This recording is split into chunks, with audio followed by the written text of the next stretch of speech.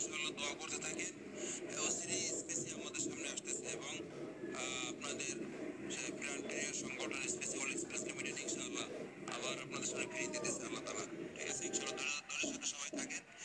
ঠিক আছে সবসময়